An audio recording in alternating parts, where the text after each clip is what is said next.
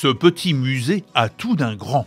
Sur quelques mètres carrés, il cache des trésors qui, dans un avenir proche, devraient être dévoilés et valorisés dans une structure plus vaste, à la hauteur de l'histoire. La maisonnette qui héberge le musée est elle-même une pièce de musée. Cette maison abritait une ferme il y a bien longtemps sur l'isthme vers l'Anglade. Reconstruite ici, c'est l'un des plus vieux bâtiments du village de Miquelon. En Acadie, les colons français avaient aménagé et endigué des terres devenues agricoles. En trouvant refuge à Miquelon, ils ont d'abord gardé leur vocation de cultivateurs avant de développer l'élevage.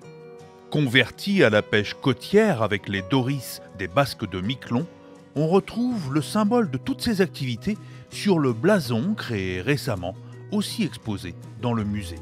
On contemple aussi les tirages photos du docteur Thomas qui constituent la plus belle mémoire iconographique du patrimoine local au début du XXe siècle, quand le village était construit et durablement implanté, là où les Acadiens ont finalement fait souche, c'est l'une des plus anciennes présences françaises en Amérique du Nord.